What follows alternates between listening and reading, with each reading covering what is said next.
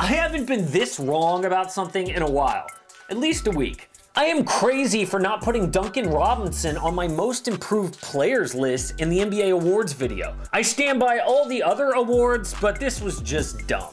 JJ Redick basically summed up how I feel about this kid. I didn't know your whole story. This year starts and you're starting for the Miami Heat. And I'm like, what the f? like, and you're awesome. Like, it's crazy. Appreciate that. Listen to this journey. Who goes from the Governor's Academy High School to Phillips Exeter Academy to D3 Williams College to Michigan to undrafted the G League, then an NBA starter. What? Duncan Robinson's story is inspirational because there are life lessons along the way that worked for him in a way that we all can see because he's in the NBA, but I think it applies to everyone. Hey guys, it's Casey Keirnan, host the AM Hoops YouTube channel. Hit subscribe. We are still coming out with five quality videos Monday through Friday at 6 p.m. all the way through the NBA suspension. I just wasn't very good in high school. I was a late bloomer. That's what Duncan Robinson said about his early days playing ball. He was just five foot seven as a freshman in high school. He came off the bench for a pretty average team in New Hampshire. People were telling him even playing D3 would be a reach. In fact, and this is just mean, his high school principal questioned his mom wanting to film their games for college recruitment. He told her, uh, you don't think he's gonna play basketball in college, do you? Ouch. Now, don't get me wrong, he worked hard, but the big difference maker was something he couldn't control. Duncan grew from five foot seven to six foot seven between junior and senior year. He grew so quick, his mom couldn't buy new clothes fast enough, but still, he had no offers. Zero. He literally grew too fast. Duncan said, quote, I was so uncoordinated, I had to teach myself how to run. I was so skinny. A major turning point for him in his life, really, was one game in high school where he passed up an open shot. His coach called a timeout and told him, That is selfish. You are being selfish if you don't shoot.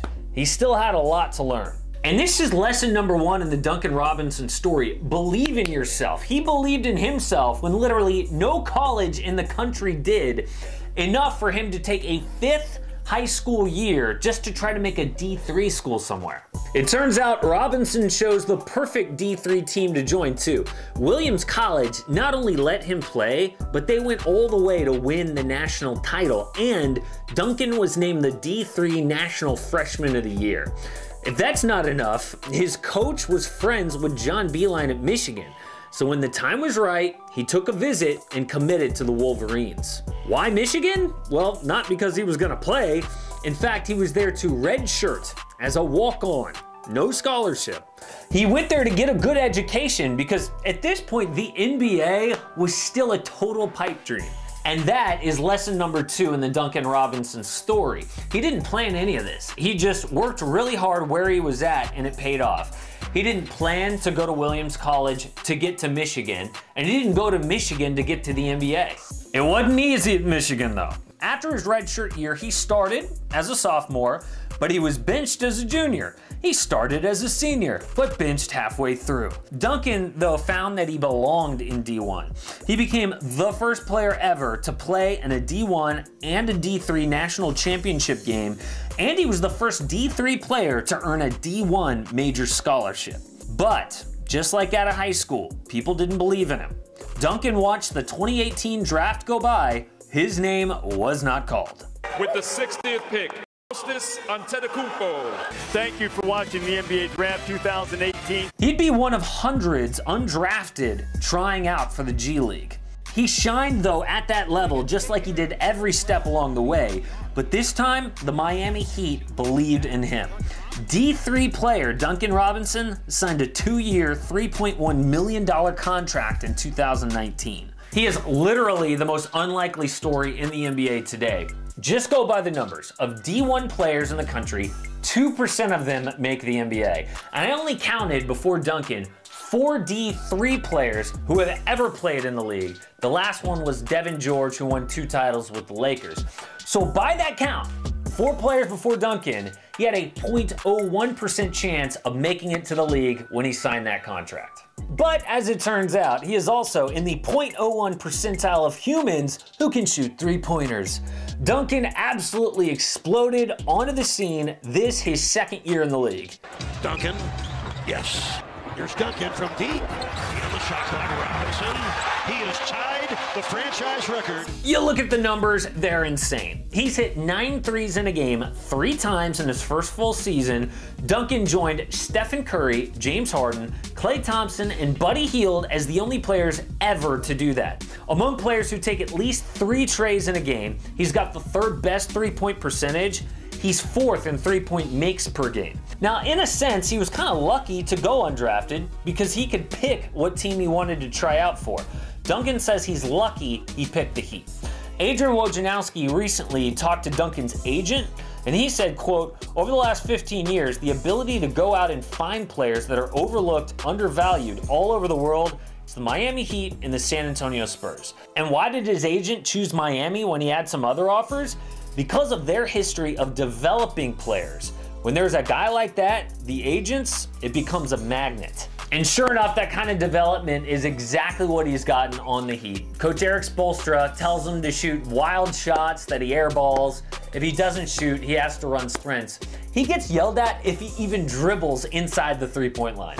The Heat are basically training their former D3 shooter to be aggressive. Recently on the JJ Redick podcast, Duncan was talking to Redick and he said, quote, you're a great dude off the court, but when you step in between the lines, it's a different persona. I'm learning that's what you need to survive at this level. He may be a humble guy off the court, but he needs to be a dog to keep his spot in the NBA. If Duncan was born 15 or 20 years earlier, he would probably live back in New Hampshire with some normal job. Instead, he was born just in time for the way he plays to be extremely valuable in the NBA. His job instead? Oh, you know, to fly around the country, receive passes from guys like Jimmy Butler, make threes and millions of dollars. His box scores would be completely out of place in any other era. 88.6% of his shots are threes, which means he almost never takes twos. That's actually the highest three point rate in NBA history. He's played in 80 games and made 253 threes. No one's made that many in that few games ever. One thing he can improve on though is defense. Teams are targeting Duncan, but he's getting better. In early March, Duncan had a plus 7.2 net rating when he's on the court. That leads the Heat. Even though he's a starter in the NBA for one of the league's best offenses, some players don't respect him yet. Duncan actually told a pretty funny story about that, playing LeBron James earlier in the year. I remember watching him last year. I sat on the bench the whole game, but he had, I think, 50, I think, in Miami, um, or at least 40. Um, and then this year when we played against him both times, it's just, Yeah. You know, you see it on TV, but like to see Did it. he acknowledge you? No. He didn't. No, I think he actually, I think actually he was guarding me. This we played them uh, early in the season. At this point, I hadn't really like done much. So he was guarding me, and he was just like sitting in the paint. Um, and I made a shot, and he kind of like scoffed at me, like, like who's this? "Yeah, exactly." um, and I actually didn't shoot well that game. That was like when I was still trying to you know figure it all out. I think by now LeBron James, like the rest of the world, has been put on notice about what Duncan Robinson is all about. And he's about to get paid big time. Right now, he makes just a little over 3 million bucks, very low by NBA standards. But his game is similar to Davis Bertans on the Washington Wizards, and if Duncan gets what Bertans is projected to get, that could be around 15 to 17 million bucks. Over a four-year contract, that would be about 60 million dollars. Not bad for a kid with zero offers out of high school. Duncan's own teammates, though, have been a huge help.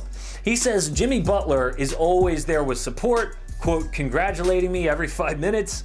Last year's teammate Wayne Ellington, now on the Knicks, is a three point shooter that took him under his wing early. Maybe the coolest part, though, of Duncan Robinson's entire unlikely story is how humble he is about the whole thing. He knows how lucky he's been all along the way. From growing a foot taller in high school, to being born at the right time for his skill set, to picking Williams College at the perfect time. Duncan says, quote, it took so many things outside of my control to get to this point, and that's not lost on me. I love the lessons in Duncan Robinson's story. He believed in himself enough to do an extra year of high school. He worked hard wherever he was, which opened bigger doors, and he stayed humble the entire time. For Duncan Robinson, that looks like an NBA future and possibly a $60 million contract. To me, it's the most unlikely, inspirational story in the NBA today. Support AM Hoops and click subscribe. Don't miss a daily NBA video.